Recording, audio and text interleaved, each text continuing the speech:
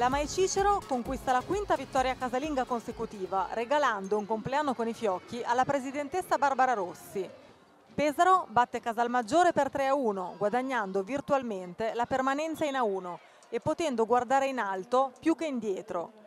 I playoff sono sempre più vicini. La Pomi mostra buone cose in avvio, poi però cala la distanza, mostra blackout preoccupanti e soprattutto si spegne sempre sul più bello. 19-25, 25-23, 25-16 e 25-21 i parziali in favore delle Locas, che si rifanno con gli interessi della brutta sconfitta subita a Modena pochi giorni prima. Lucchi punta su Drius come opposta e l'idea è valida perché l'americana è in palla, ben coadiuvata da Martinez, a cui però il dentro fuori ha forse rallentato il ritmo.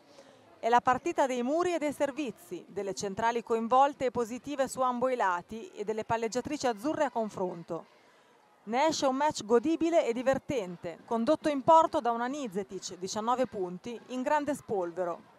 Pesaro replica la gara di andata e, con un'avversaria comunque molto più quotata e lunga di qualche mese fa, porta a casa anche il match di ritorno. Casalmaggiore ora pensa alla Coppa CEV, Martedì sarà in Ungheria per l'andata degli ottavi di finale. I margini di crescita sono grandi, ma adesso il tempo stringe. Beh, io credo proprio che insomma, tutte le nostre vittorie che abbiamo conquistato fino ad ora sono state davvero il frutto del lavoro della squadra e non del, del, della singola giocatrice. E finalmente ci siamo riusciti a esprimere ancora i nostri livelli dopo la brutta sconfitta di mercoledì. Volevamo a tutti i costi vincere questa partita, siamo state brave, siamo state squadra e adesso niente, ci godiamo questa vittoria e penseremo poi alla prossima partita.